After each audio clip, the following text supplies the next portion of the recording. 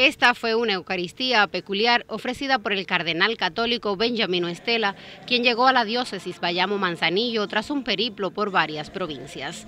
El diplomático de la Santa Sede oficia misa en el contexto de las celebraciones por el aniversario 25 de la visita del Papa San Juan Pablo II a Cuba. Llegar a la diócesis de Bayamo Manzanillo, dijo el religioso, es adentrarse a la hondura de la patria cubana, pues esta es la cuna de católicos ejemplares como Carlos Manuel de César y Perucho Figueredo.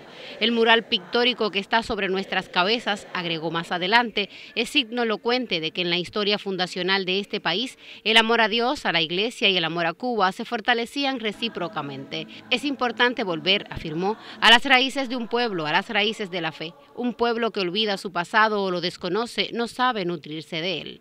Durante la misa, Su Excelencia Estela bendijo símbolos patrios recibidos de manos de familias de la diócesis, en tanto Monseñor Álvaro Beira, obispo de Bayamo Manzanillo, agradecía al cardenal su visita y recordaba los momentos en que acompañó la fundación de esta diócesis fundada por Juan Pablo II. Los fieles, por su parte, obsequiaron al diplomático una réplica del mural considerado único de su tipo en el continente que preside la iglesia de San Salvador y donde se ilustra la bendición de la bandera. Para concluir la Eucaristía se entonó el himno, justo allí, en el sitio en que en el lejano siglo XIX se diera a conocer la melodía de aquel canto guerrero que es hoy himno nacional. Jacqueline Pérez, Sistema Informativo de la Televisión Cubana.